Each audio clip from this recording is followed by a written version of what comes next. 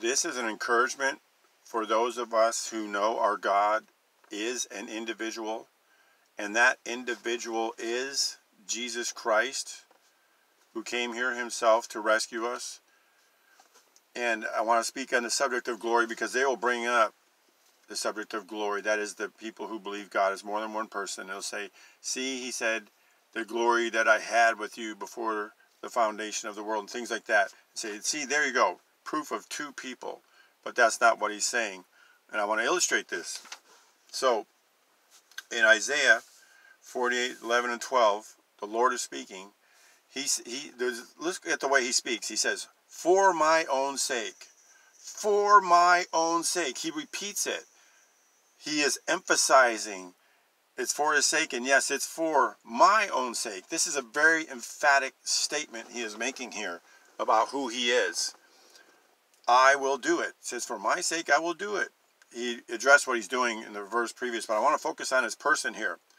For how should my name be profaned? You see that?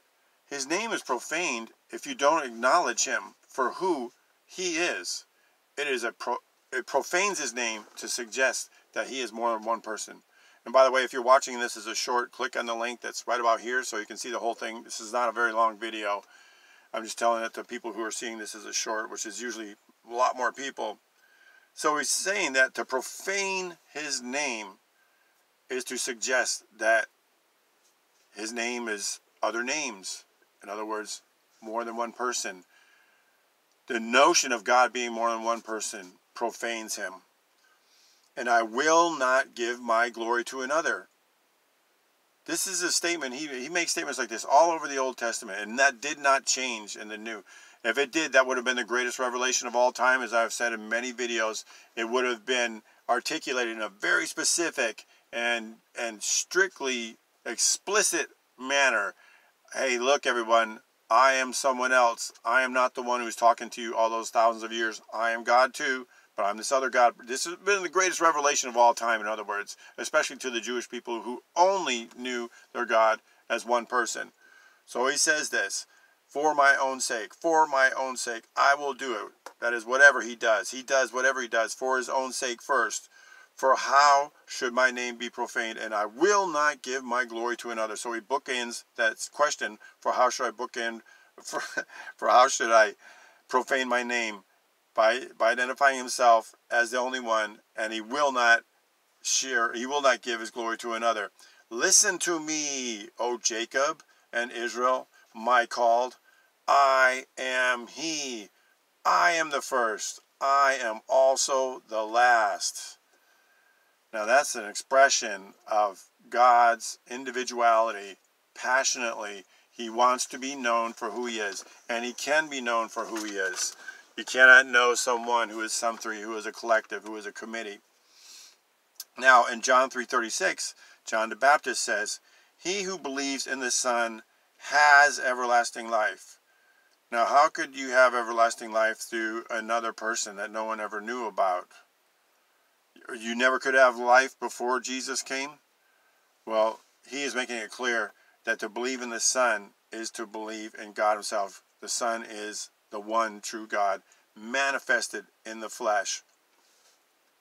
And then going to John 14, 13, the Lord himself says, Whatever you ask in my name, that I will do. Now the focus here, the emphasis is on whatever in my name. What does his name mean? His name means Yahweh is salvation or Yahweh saves. God saves. God has become salvation. There's different ways of saying it, but you when you ask in that name in in the understanding that your God is your savior, you can only ask things that he is willing to do. Because God is my savior does not mean God is my religion. God is my rudiment of the world. God is my tradition of men. God is my denomination. It doesn't mean any of those things. It doesn't mean God is my carnal desires.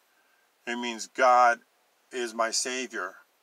So I can ask those things. And what do you ask in that context? Because all those other things I just mentioned are all going away. Your religion, your passions, your desires, all that stuff is going away. But what is going to remain is the Savior and those He saved. So what do you ask in that context? in the spirit of God being your Savior and no other. God, show me who you are. That's what Moses got the revelation of. Show me your glory. Show me your glory, not y'all's glory. Show me your glory. And he showed us his glory. He showed us his glory in many, many ways. And the greatest way he showed it was when he came here as that man. So that's what it is to ask anything in his name. You want to know who he is. You want to understand who he is and what he's done. So that, that you can see how that changes you. He doesn't need to do anything. I'm not saying he doesn't do anything. He does uh, do divine intervention. He does do that, but it's on his terms, on his choice when he wants to. But he always responds to someone who asks for understanding. James said this in chapter 1 of James. Anyone who asks for understanding will get it. That is what you can handle, what you can bear right now. But if you ask for that, that's what he will give. So he says this whatever you ask in my name, that I will do, that the Father may be glorified in the Son. There's not two glories, there's not two people being glorified. The Father is glorified in the Son because the Son shows who the Father is and what the Father does. That's why he says, My Father has been working till now, and I have been working. It wasn't two people working. He was simply saying, I'm the same one. My Father's been working, so have I. It's not we have both been working. He's telling us he's the Father.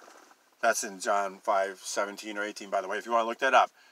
It's not a statement of two people doing the same thing or two different things or any of that it's one person doing it. It's just that one person happened to manifest as our Savior in the flesh because a man had to save us. So that's why he did that.